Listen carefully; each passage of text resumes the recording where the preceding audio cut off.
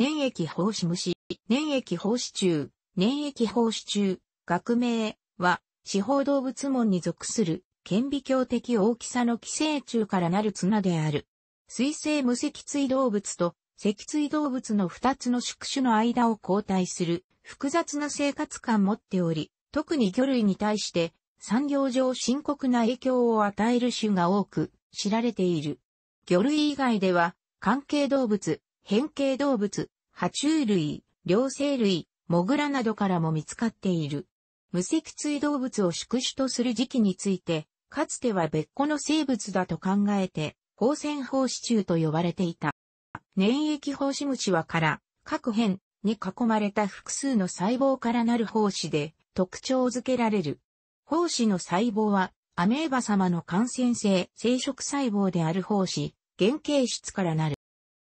二つの宿主からは、粘液胞子と放線胞子という形の大きく異なる胞子が放出される。この2種類の胞子は、形状が非常に異なっているため、1980年代までは、ミクソゾアモンに属する異なる綱の生の胞子だと考えられていた。魚類の病原体として注目されてきた経緯から、単に胞子といった場合は、粘液胞子のことを指していることが多い。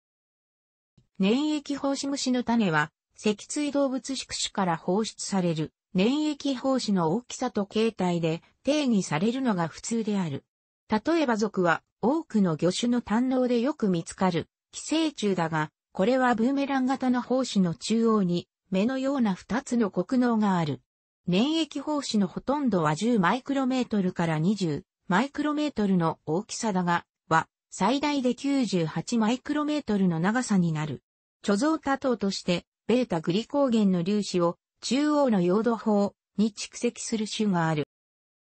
胞子の殻は縫合線に沿って接着した殻細胞からなる。殻は丈夫なヒケラチン質のタンパク質でできている。殻の形態は多様で、表面が滑らかだったり凸凹だったり、側面に翼状の突起が出ていたり、粘液に包まれていたりする。これらはおそらく水中において、胞子の浮力を増し、拡散を助けるための適用であろ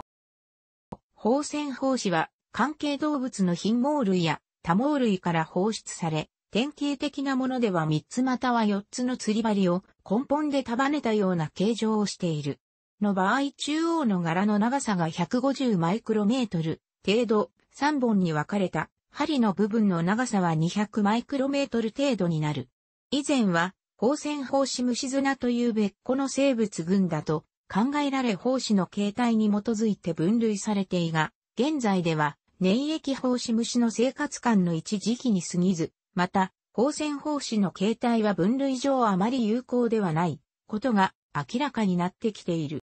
1980年代までは粘液胞子虫が魚類から魚類へ直接伝播すると考えられていたが、感染実験は成功せず、粘液胞子虫の胞子は感染能を獲得するまでに水中で数ヶ月を要するのだと説明されいた。しかし、ウルフとマーキワは、ニジマスの旋回病の病原体を研究するうちに、ニジマスへの感染には族の糸ミミズ類が関与していることを示した。の胞子は、糸ミミズの消化管上皮細胞の中で、放線胞子虫に変態し、この放線胞子虫をニジマスに与えると旋回病を発症して、体内にの胞子が産生された。したがって、この粘液胞子虫と放線胞子虫は同じ生物の異なる発育段階であり、生活感を完結させるためには、ニジマスと糸ミミズという二つの宿主が必要ということが分かった。この様式の生活感は他の粘液胞子虫についても実証されていき、1990年代以降広く受け入れられるようになった。そこで、粘液胞子虫は、一般的には貧毛類と魚類の二つの宿主を必要としていると考えられている。有性生殖についての知見が乏しいので、魚類と貧毛類のどちらが収縮主かは、はっきりせず、両方を交互宿主と呼んでいる。は、放線胞子世代の宿主として、多毛類を使っていることが示されている。一方で、魚類から魚類への直接電波も可能性がないわけではなく、これまでのところ族の3種、族の2種、などで、示唆されている。以降は、生活感の詳細を唯一完全に解明されているの例に基づいて記述する。魚類が感染ミミズを捕食するか、水中を浮遊している、放線胞子に接触することで感染が成立する。体表やエラなどの上皮細胞に侵入した胞子細胞質によって自ら、イコール一次細胞の内部に二次細胞を作る。二次細胞は一次細胞に包まれたまましばらく、通常の細胞分裂を繰り返し、再び内生分裂を行って三次細胞を作る。この頃になると一次細胞は破裂し、三次細胞を含んだ二次細胞が宿主細胞の外に放出されて、さらに近辺の宿主細胞に侵入する。これを繰り返すことで次第に宿主中に広がっていき、の場合2から3週間で脳まで到達する。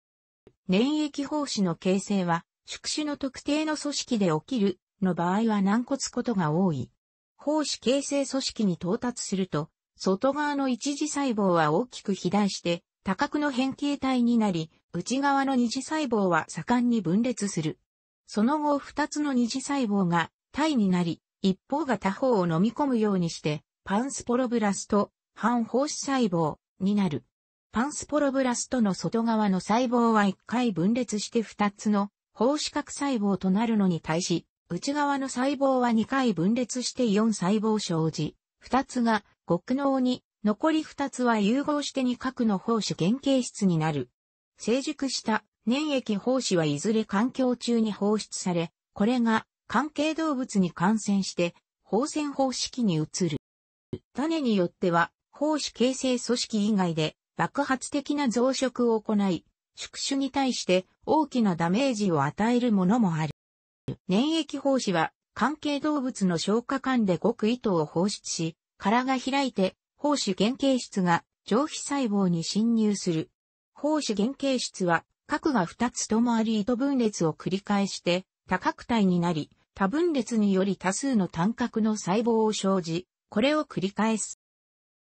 その後に細胞が融合してあり糸分裂を経て4、核の細胞が生じ、これが4細胞からなるパンスポロシストになる。2細胞は外側を覆う体細胞。残りの2細胞は生殖細胞で、ここでは仮にアルファベータと呼ぶとにする。生殖細胞は3回分裂して合計16個の配偶子細胞を生じ、これがさらに原数分裂を行って極体を放出する。その後アルファ由来の配偶子細胞とベータ由来の配偶子細胞が接合して8つの接合子生じる。少なくともの場合、これが生活間中で見られる唯一の有性生殖である。この間に外側の体細胞は2回分裂するので、最終的にパンスポロシスとは8つの接合子を8つの体細胞が包みでいる形になる。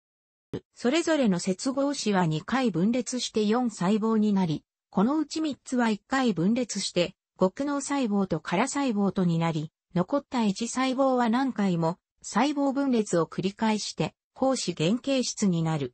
極脳細胞と胞子原型質が殻に包まれると、放線胞子が完成する。放線胞子は感染後90日程度で生じ、環境中ではおよそ2週間程度の寿命を持っていると考えられている。元来、放線胞子中と粘液胞子虫は胞子の形態に基づいて分類されていた。しかし、粘液胞子虫と放線胞子虫が同じ生物の異なる発育段階であることがわかると、同じ生物に2つの学名が存在したり、粘液胞子虫として同族と考えられた生物が、放線胞子虫としては異なる属に含められていたり、といった混乱が生じた。これを解決するために、ケントヤルはミクソゾアモーンを再定義し、放線胞子虫綱クラス1980は、粘液胞子虫綱クラスミキサスポーリア1881のシノニムとして使わないことを提案し、これによれば、粘液胞子中期が明らかな場合は、放線胞子中として命名された学名は使わず、粘液胞子中期が不明な放線胞子虫については、種として確立するまでは、同定に疑いのあるとする。ただし、光線胞子虫の属名は、集合群の名前として、放線放子中期の形態差を特徴づけるために用いる。例えばの放線放子にはという学名が与えられたが、これは学名としては無効での放線放子はであるとか、糸見自らが検出されたなどのように、イタリック体にせずに用いる。この提案には意義も出ているが、多くの研究者はこの方法に従っている。従来は粘液胞子の形態に基づいて分類されていたが、分子系統解析によれば、ほとんどの分類群が多系統的であり、生物の系統を反映していないことが明らかになっている。特に族や族は明らかに多系統である。これまでに得られている情報では、例外はあるものの海酸と淡水酸とで大きく二つの系統に分かれること、胞子の形態よりも感染部位などの方がよりよく系統を反映しているらしいことが言われている。ここでは従来用いられている寛容的な体系を示すが、今後特に総革命は大規模な再編が必要になると思われる。粘液胞子無質なクラス。この生物は古くは原生動物門胞子虫綱に位置づけられたが、この綱は多系統と考えられ、現在は解体されている。これには分子系統などの情報が大きく活用された。その結果、粘液胞子虫は単細胞生物でありながら、構成動物と最も禁煙であるとの判断が出された。このことは驚くべきことではあったが、全く予期されなかったものではなく、例えば多細胞の胞子を作ること、極脳が四方に似ることなどから、そのような説を唱える者もいた。構成動物であれば多細胞で体内に器官を持つわけであるが、寄生生活によって構造が単純化する例は多く、例えば中性動物はそのような例と考えられている。とはいえ、単細胞段階まで行ってしまうものか、といった点が納得でいないものと考えられていた。その後、南方支柱というとても動物的な多細胞の体を持つものが同様の胞子を形成することが分かり、ミクソゾアモンに入ったことで、その確からしさが実感できるようになっている。